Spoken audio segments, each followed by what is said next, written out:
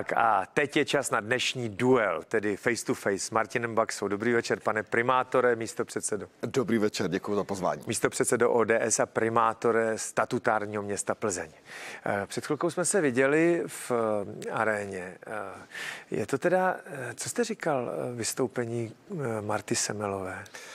Já mám rád normální politickou diskuzi, kde se prostřednou lidi s různými názory, ale já musím říct, že jako její vystupování je pro mě opravdu jako návratem před rok 89. Já jakoby jako... nemůžu prostě vůbec jako akceptovat to, pokud někdo tady jako veřejně hájí věci takové, že máme uh, snad vystoupit ze Severoatlantické aliance z Evropské unie, že se máme přiklonit k putinovskému Rusku, že se máme uh, inspirovat na východě, ne na západě. A já v tom vidím jako velké já... riziko, jo. A ne, ne, pokud ne. jako lidé jako ona dneska reprezentují komunistickou stranu Čecha Moravy, tak je to opravdu nejenom jako smutná vizitka, ale reálná ukázka toho, co vlastně dneska komunisté říkají a co si myslí. Mě na tom jako děsí jedna věc, jako otevřeně bezpečnostní informační služba, pokud píše něco, co se vládě nelíbí, taky prostě nějakou vládneme. No, eh, předpokládám, že podobně by se postupovalo směrem k justici, policii a tak. V školách by se učilo to, co chce vláda, jinými slovy, eh, to, co oni mají odzkoušeno, by se stalo jako znova. A mě na tom eh, děsí jako to, že byli součástí vlády. Jo. To na mě na tom jako děsí. Oni oficiálně nebyli součástí vlády, ale všichni víme, že de facto byli. Měli nějakou toleranční smlouvu, která držela celé čtyři roky vládu Andreje Babiše u moci a uh, teď ji teda vypověděli, ale to je zcela evidentně předvolební tah. Jo. Ne, to jsou, to jsou vlastně jako dvě věci. První věc je to, že uh, paní Semelová ukazuje, co jsou ve skutečnosti komunisté zač. Že všechny ty jakoby pokusy jakoby se natírat na nějakou takovou jako světle červenou jsou prostě zbytečné, když tady člověk slyší paní Semelovou a její vztah k putinovskému Rusku. A druhá věc je, je ta, kterou přesně říkáte, že Andrej Babiš by bez komunistů prostě čtyři roky nevládl. No. A jak jsem ty čtyři roky v parlamentu viděl, tak přes všechno takové to hartusení, které uh, někdy předváděli, tak nakonec vždycky zásadní věci uh, podpořili. Ať už to byly státní rozpočty s obrovskými dluhy, ať už to byla covidová opatření, prost, ta, která vlastně jakoby se ukazovala nakonec jako neúčinná. Takže Andrej Babiš vlastně umožnil čtyři roky se komunistům prezentovat. No. A tady teď, teď sklízíme v ovoce podobě případě toho, že dnes komunistickou stranu reprezentují lidé, jako je paní Semelová? No tak byla to menšinová vláda bez podpory komunistů, včetně paní Semelový a těch jejich orgánů, ústředních výbor, mě teda už jako děsí sjezd KSČM a ústřední výbor KSČM a tak to mi rezonuje eh, v uších, protože jsem dospíval za dob socialismu, tak mi to rezonuje v uších. Ale eh, bez nich by prostě Andrej Babiš ne, nevládl. A teď na férovku. Jo. Ono se opravdu říká, že ODS s ANO mm, nějakým způsobem je připraven připravena vládnout po volbách. Já jsem k tomu slyšel spoustu různých teorií. Asi ta nej, nejrozšířenější je, že když se vám ty volby nepovedou, předseda Fiala padne, předpokládám, že byste padnul i vy, do čela ODS by se dostali jaksi pragmatické křídlo, které údajně má být reprezentováno hejtmanem Kubou a to by se s ANO domluvilo a rozpadla by se koalice spolu. To jsem slyšel. Ale těch teorií, které jako existují, těch je jako skoro nekonečně, ale mluví se o tom hodně. No a v češtině platí takový, mm, neníž prochu, víte, jak to je.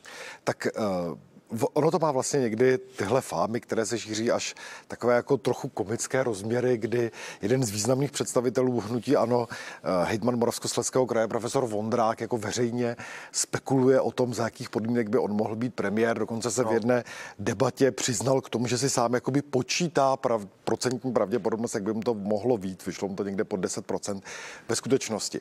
Všechny tyto fámy vlastně mají sloužit jenom k tomu, aby znejistovali lidi, kteří přemýšlejí o tom, koho budou volit. A já říkám naprosto jasně, v těchto volbách můžou, nebo po těchto volbách můžou vzniknout pouze dvě vlády. První vláda je vláda koalice spolu, která i přes poměrně značné některé programové rozdíly, které máme, uh, utvoří koalici uh, s koalicí Piráti a Stan. Je to koalice spolu jako nositel změny, jako strana nebo uskupení, které chce dát Česko dohromady. A na straně druhé, pokud by ty volby vyšly tak, že Andrej Babiš bude mít většinu s extremistickými a populistickými stranami, tak bez sebe menšího váhání vytvoří vládu ANO, SPD, komunisté, případně další. Pravděpodobně to tak bude, protože... Nejsou žádné jiné varianty, než ta, že prostě Andrej Babiš v mžiku, kdy to bude možné, si vytvoří vládu s těmito, s SPD, s komunisty, vyzkoušel si tomto končícím období poslanecké sněmovny, že to funguje. Sám jste zmiňoval, že mu ti komunisté všechno podpoří. Eh, stavební zákon, který je mimořádně problematický, prošel díky hlasům SPD, si také musíme říct ano, SPD komunisté. Takže má prostě teď, připravenou teď... populistickou extremistickou vládu, kterou v mžiku, kdy bude mít tu možnost postavit. A teď dvě věci. Jo. Já vám řeknu uh, můj názor. Já si myslím, že když Andrej Babiš nedá dohromady nadpoloviční většinu, opravdu poslanců nově zvoleného parlamentu, že mu to eh, Miloš Zeman nedá že ho uh, sestavením vlády nepověří, protože z mého pohledu je to pro ně už jako velmi nebezpečný. Podle mě by opravdu byl za hranicí ústav, ústavnosti, on to moc dobře ví. A ty uh, řeči o tom, že pověří sestavením vlády vítěze, ví, předsedou ví, vítězné strany a tak, to jsou jenom jako řeči. Víte, já totiž považuji za jeden z největších kiksů prezidenta Zemana možná opravdu na hraně ústavnosti. Teď, pamatujete si nejmenování hmm. Miroslavy Němcové sestavením vlády? Ne, to je jedno, jaký na ní máme názor. Jestli by byla dobrou předsedkyní vlády nebo ne, nedobrou předsedkyní vlády. Ona tehdy přinesla 101 podpisů a přesto prezident republiky uh, uh, jmenoval úřednickou vládu. Já myslím, že to tentokrát neudělá. Eh, byla to situace, která samozřejmě byla uh, ústavně mimořádně sporná. Prostě ústava České republiky je postavena na tom, že uh, zemi má vládnout vláda, která získá důvěru poslanecké sněmovny. Ta ústava v tomto hovoří naprosto jasně. A ve chvíli, kdy zvítězí ve volbách koalice spolu ve a Piráti a Stan společně vytvoří vládu, spolu a Piráti a Stan, tak je podle mě situace naprosto jednoznačná. Jestliže bude mít spolu a Piráti stan většinu v poslanecké sněmovně, no. je podle mého názoru ústavně zcela v pořádku, aby se tato vláda ujala moci. Já, já si myslím, měl, že když dáte dohromady... Prezident by měl takto jako hmm. postupovat. Já si myslím, že bude, jo. Musíme ctít prostě eh, pravidla, která jsou napsaná v ústavě. Ústava České republiky v tomto ohledu hovoří jasně. Je možné samozřejmě ten proces nějak prodlužovat. Slova prezidenta Zdemana znejistují, pokud říká, že nebude dbát na koalice, ale že pověří předsedu vítězné strany. Nicméně ten výsledek je na konci zřejmý. Pokud bude mít koalice spolu a koalice Piráti a stan nadpoloviční většinu v poslanecké sněmovně, má vzniknout tato vláda s premiérem Petrem Fialou. Hmm. Říká se, že pokud budete mít nadpoloviční většinu, tedy koalice spolu a Piráti starostové, a prezident republiky nejmenuje vašeho kandidáta sestavením vlády nebo premiérem, eh, tak jste připraveni skrouhnout eh, rozpočet kanceláře prezidenta republiky na nulu. Je to pravda? Takhle, já chci podotknout jednu věc. Jsme teď pár dnů před volbami. My se soustředíme především na to, abychom uh, přesvědčili občany České republiky, protože je zapotřebí změna, že je zapotřebí dát Česko dohromady. My děláme všechno pro to, aby koalice spolu ve volbách zvítězila a vznikla jasná uh, většina, která je pro změnu, pro odstavení Andreje Babiše a jeho populisticko-extremistické vlády od moci, aby se Česko znovu dalo dohromady. To je to podstatné. Hmm. A my předpokládáme, že se, pokud hm, vznikne většina v poslanecké sněmovně, bude postupovat postupovat tak, jak předpokládá ústava naší země a vznikne vláda s předsedou hmm. Petrem Fialou. Hmm. Dobře, a teď mi řekněte ekonomiku. Jo? Já z toho začínám mít nepříjemný pocit. Mám začínám mít nepříjemný pocit z prudkého zdražování, které opravdu teď v průměru jo, je okolo 4-5%, hmm. ale subjektivně vidíme na spotřebním koši, který běžně používáme, že to zdražení je možná prudší. A to nás čeká opravdu drastické zvýšení cen elektřiny. Jo. To, hmm. to je jako jedna věc. Druhá věc je, že ekonomika sice roste, ale ještě nedosáhla předcovidové úrovně. Jo. Otázkou je, jestli až dosáhnete předcovidové úrovni v souvislosti a, a současně zvyšující se ceny průmyslových vstupů plus nedostatek pracovních sil, eh, jestli bude mít jako sílu stoupat nad předcovidovou úroveň, což je teda velký otazník. Ale pokud by měla být kombinace takhle vysoká inflace a de facto zabrždění ekonomického růstu na té eh, předcovidové úrovni, tak je to mimořádně špatná zpráva a taky mimořádně špatná zpráva pro rozpočet, který je teď opravdu ve špatném stavu. Jo. A... Tak tohle jsou témata ekonomická, které jsem chtěl jenom po povrchu s vámi probrat. Eh, je to tak, že eh, ta takzvaná Babišova dráhota, o které by teď hovoříme, dopadá vlastně na každého občana Česka v nebývalé míře. Je to vidět, jak vy jste říkal, nejenom v tom spotřebním koši, ale obecně rostou ceny služeb a tak podobně. Já považuji za jeden z největších, troufnu si říci, zločinů Andreje Babiše, eh, ministrie Šilerové, celé Babišovy vlády, že dopustil najednou ten sešup, ve kterém my se v současné době rozpočtově nacházíme. Prostě proto, že v roce 2019, nebo i těch několik let zpátky, byla velká ekonomická prosperita. Přesto Andrej Babiš přicházel do poslanecké sněmovně a protlačil poslaneckou sněmovnu deficitní rozpočty. Ale v té době to byly nízké desítky miliard korun. A my jsme říkali, je to přece nesmysl v takovéhle no. době, abychom měli uh, deficitní rozpočty. Pak přišel covid. Samozřejmě věc, na kterou nikdo nemohl být připraven a všechny evropské státy utráceli peníze, protože bylo zapotřebí pomoci těm, kteří trpěli těmi lockdowny, všem těm zavřeným službám, eh, restauratérům, kadeřnicím, eh, kultuře a tak podobně.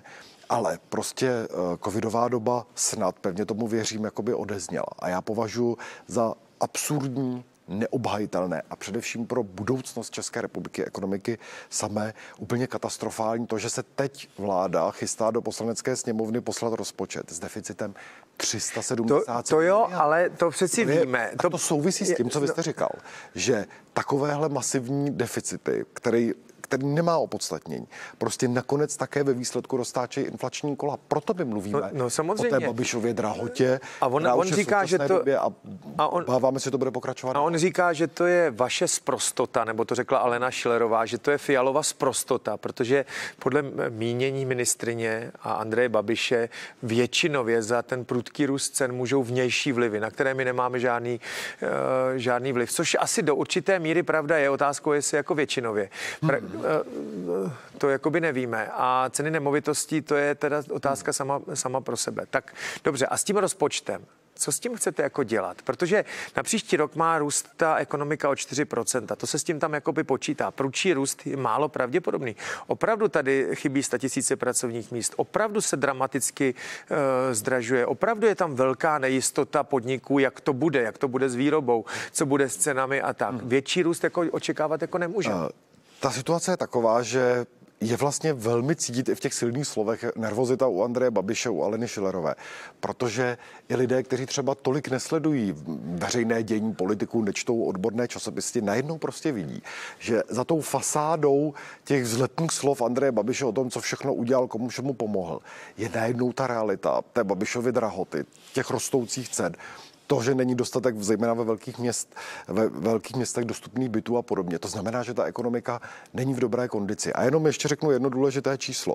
Za poslední zhruba 6-7 let se vládní výdaje zvýšily o polovinu. Jsou to úplně gigantická čísla, kdy v roce 2013 byly celkové výdaje státního rozpočtu zhruba 1200 miliard korun. No. Není podstatné to absolutní číslo. A teď se plánují vládní výdaje ve výši uh, 1900 miliard korun. To, je, je nárůst pravda, ale z toho 800 miliard ale, je... je pardon, Proč to jenom, pane Soukupe, chci doříct? Je to přece tak, že jakoby za ten obří nárůst vládních výdajů, v čem se mají lidé v Česku lépe? Kde jsou ty lepší služby? No, Kde jsou já se pokusím vám jako na to dát eh, Ďáblův advokát. Jo. služeb a tak já, já, se pokusím na to jako... A to byla ta skluzavka, po které bohužel teď jedeme dolů.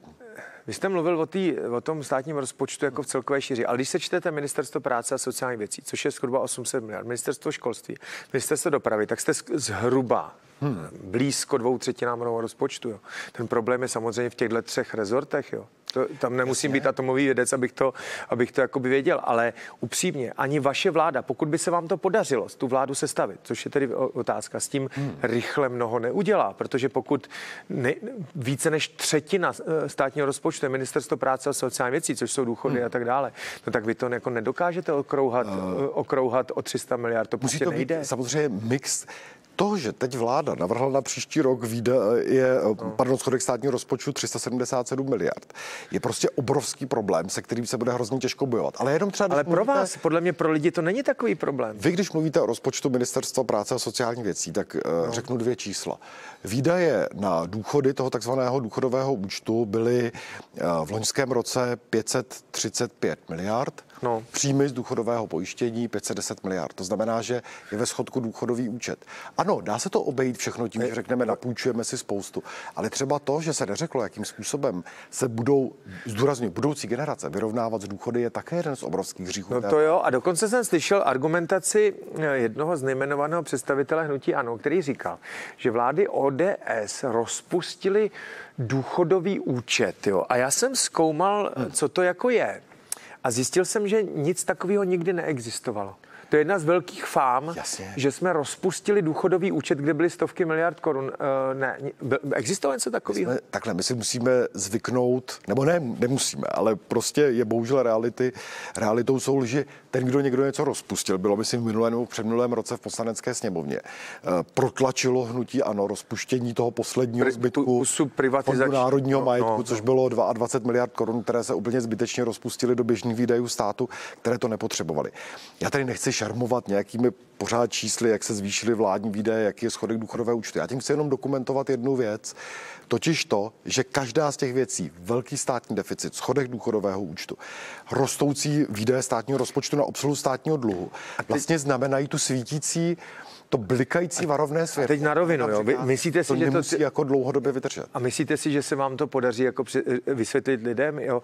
Hmm. Dříve to bylo tak, před deseti lety, že hrozba řecké cesty jo, byla, eh, byla strašlivým strašákem. Každý, byť o tom nikdo nic nevěděl, jak funguje státní rozpočet, kolik je procentuálně státních zaměstnanců v Řecku, jaký objektivně mají eh, schodek, jak ho financují a podobně. Nikdo o tom nic nevěděl, ale byl to obrovský strašák.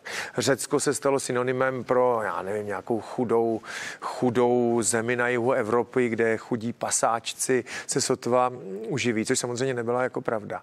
Uh, ale lidi si tady opravdu mysleli, eh, že dojde k zastavení vyplácení důchodu, že se bude masově propouštět a toho se samozřejmě báli. Teď si vyzkoušeli, že můžeme mít eh, schodky, jaký chceme a nic se neděje. Jo. Hmm.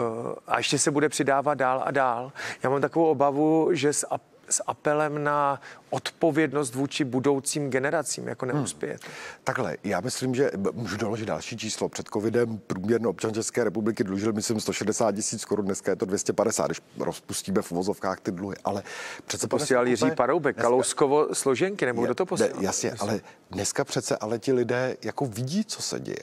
Prostě ve všech zemích Evropy byl covid všechny země Evropy ve větší nebo menší míře vydávaly obrovské peníze na pomoc těm zadluženým.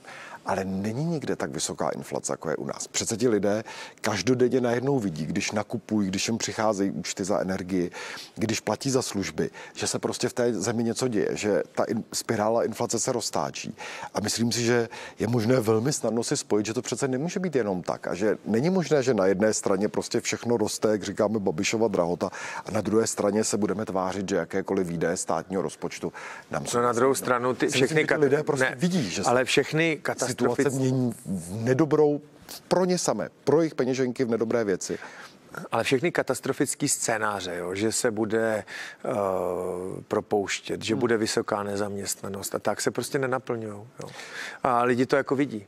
Takhle, nenaplňují se katastrofické, jestli máte na mysli v době covidu, hmm. kdy se na jaře 2020 opravdu tím, jak to byla obrovská rána, zavřela se ekonomika, nikdo nevěděl, jaké ty ekonomické dopady budou. A v té době se říkalo, ano, hrozí obrovský propad, taky ten propad za rok 2020 jako není malý. Jo? Jsou to, když se řekne, že byl propad třeba 5%, tak je to velké číslo v tom objemu. Hmm. Ale naštěstí ten dlouhodobý dopad ukazuje se, že uh, ty základy české ekonomiky jsou pevné a že ten uh, pokles nepokračuje. Ale proč teda proto to vláda navrhuje tak gigantický státní dluh, napří, gigantický uh, schodek státního rozpočtu na příští rok. V tom je přece ta nezodpovědnost. No ale vy jste mi pořád jako neodpověděli. Já si hmm. tedy jako myslím, že bez zvýšení daní to nepůjde. Jo. Vy říkáte, hmm. že zvyšovat daně se nebudou, ale já vám jako říkám, že to nejde. Jo, že to jako nejde, že nedokáže se snížit ten poměr nebo ta výše těch výdajů státního rozpočtu dostatečně na to, aby se to vyrovnalo. Že to, že to jako nepůjde bez zvýšení daní. Je to, my to jako nejde. Nechceme a my máme recept, jak se ty věci dají udělat. Ale je to mix různých věcí, který nebude hotový z roku na rok. Jednou věcí je, že se prostě musí no. uspořit ve státním rozpočtu. My jsme při sestování uh, státního rozpočtu na letošní rok navrhovali uh, úspory ve výši 80 miliard korun a nebyly to žádné věci, které by znamenaly to, že nebudou mít hasiči na benzínek rádi, dneska říkají představitelé hnutí. Ano, vůbec ne. Jsou to výdaje do uh, podpora velkým firmám, jsou to zbyteční, zbytečná místa ve státní správě a tak dále. Další věc, kterou vláda nechce slyšet, je to, že samozřejmě ten ekonomický růst, o kterém vy hovoříte, znamená také zvýšený příjem daní došlo za ty obrovské roky, k, za ty roky uh, prosperity k obrovským také uh, příjmům do státního rozpočtu. Takže mix toho, že hmm. růst ekonomiky a, bude znamenat na, zvýšené příjmy a že se uspoří, a, bude znamenat postupné zlepšování a na, a na tom zrušení té superhrubé mzdy, respektive snížení daňové sazby uh, u závislé činnosti u, u mest fyzických osob, jako trváte? Je to tak, že uh, já když... Že to je minus 100 jasný, miliard, to je pravda, že jo? Uh, já jsem jednoznačně zastáncem toho, že je správné, pokud je to možné, nechat lidem peníze v peněženkách. A to se přece tím zrušením superhrubé mzdy stalo. A kdyby, pane Soukupe, to byl to jo, akorát jako zločin. Na, Já jsem se díval na Ale na jednu stranu kritizujete výši státního dluhu a na druhou stranu říkáte, že je dobrý snižovat daně. Mně to jako fakt nefunguje dohromady. Ne, je to tak, že zrušení superhrubé mzdy byl dlouhodobý program a my prostě chceme tam, kde je příležitost, snížit daně tak, aby si lidé mohli o svých penězích více rozhodovat. To se superhrubou mzdou stalo. Strašili, strašilo se tím, že to způsobí 100 miliardový zásek do státní kasy. Nakonec se ukázalo, nebo ta průběžná čísla ukazují, že to zdaleka nebude tolik, ale přece já nebudu za situace, kdy byla možnost lidem nechat mimochodem v tísni, která v té době byla více peněz peněžené. A musíte uznat, čistého. že ta koalice byla divná. Hnutí ano, ODS a SPD, jo. Každý se k, tomu měli nějaký zvláštní důvod. Eh, já jsem nepochopil ani jeden, jo. Uh, u nás ten důvod je naprosto jasný, protože my jsme toto měli ve volebním programu, my chceme no věci, které jsou ve volebním programu, plnit to jo. a byla příležitost ten volební program splnit. A my říkáme, lidem budete mít o 7% více v peněžence, čistého, uh, to znamená, budou mít Ale víc peněz a to se splnilo. Pamatujete si na Jiřího Paroubka, jak říkal, že kdyby mohl vládnout z Marťany, tak bude vládnout z Marťany, takhle nějak to dopadlo no, u vás. Jo? Uh, Chtěli jste prosadit superhrubý, zrušení superhrubý mzdy, tak jste se z mého pohledu spojili s Marťany, s ANO a SPD. Ne, jsme se nespojili ani s Marťany, ani s ANO, ani s SPD. My jsme, uh, my jsme prosadili to, co jsme měli ve volebním programu. A jestli se k nám přidalo hnutí, ano, je to pravda. No. Proč hlasoval takhle? No, já říkají, jste se já přidali nevím, k ním. Ne, no. Ale je to prostě tak, že to byla jasná konkrétní věc, která prostě ukázala, že když jsme mohli, tak jako se nám podařilo uh, prosadit a... zrušení daně z nabití nemovitosti, které Andrej Babiš prostě odmítal, ale no, to jste, jako... to, teda to jste nás navrhli, ale a říkali jste, že to povede ke snížení cen jo, bytů a nemovitostí, ale k ničemu takovému to nevedlo. Uh, samozřejmě, že to, jak jsou drahé nemovitosti, zejména v velkých městech, je mixem různých věcí. Tak nemůžeme si slibovat to, že zrušení nemravné daně, což daň z, nemovitosti, eh, daně, daň z nabití nemovitosti byla nemravná daň a nikdy jsme neříkali, pane Soukupe, že to najednou jako uvolní bytový trh a no. směr nemovitostí. Je to mix věcí. Takže to nebylo zbytečný, že jo? Nebylo to zbytečný, protože zatím uleví lidem, kteří se prostě nemovitosti pořídit. Ale vedle toho my jsme říkali, že přece klíčem k tomu, aby se v Česku více stavily byty, je moderní stavební zákon. Prosazovali jsme funkční stavební já to, zákon. Já tohle považuji za... A byl schválen prostě polopaskvil, který má mm, já, jako za plíř nejvyššího stavebního úřadu, který bude zaměstnávat no právě. 13 tisíc úředníků. To přece jako, ukazuje za neschopnost Od vás z města, z magistrátu města Plzně přejdou jako úředníci ze stavebního odboru do nově zřizovaného uh, úřadu? Já jsem přesvědčen, že možná někdo jo, ale valná většina zůstane ve vašem většina úřadě. zůstane u nás, protože nabízí Bude na investiční odbor nebo... a dobrou práci. Znají to tam, znají to prostředí, znají ty lidi, kam by chodili. Připraveni okamžitě po té, co eh, vznikne vláda eh, s Petrem Fialou jako premiérem, tak jeden z prvních kroků musí být oprava toho stavebního zákona, protože ten nejvyšší stavební úřad ve skutečnosti by vedl jenom k tomu, aby, eh, že se ty úřední procesy budou ještě více komplikovat, než... Já si teda osobně jako myslím, že to spíš je tak, že to je opravdu vyjítí vstříc těm velkým developerům, aby do toho ty města a kraje neměly co kecat do povolování, eh, že si to budou dělat prostě z centrály, kde se kdo domluví, protože jinak si to vysvětlit nedovedu. Tam, pokud vím, odvolání eh, mělo být tak, že ten odvolací orgán nevrací věc tomu původnímu, ale rozhoduje sám. Jak si to mám vysvětlit jinak než lobby developerů? Jako... My jsme navrhovali ve stavebním řízení jako řadu funkčních změn, ať už je to digitalizace stavebního řízení. Nechceme, aby prostě obíhali lidé, mají obíhat informace, které oni dávají, mají si je úřady vyměňovat mezi sebou. Má být stavební řízení mnohem rychlejší, než je v současné době. To jsme také navrhovali. Babišové vládě šlo zjevně o jiné věci, no. ať už se projevili třeba vznikem toho stavebního úřadu. Aby tady jasně byl nějaký Palermo. No. Pane místo předseda, já vám moc děkuji za to, že jste přišel. Já děkuji za pozvání a přeji hezký večer.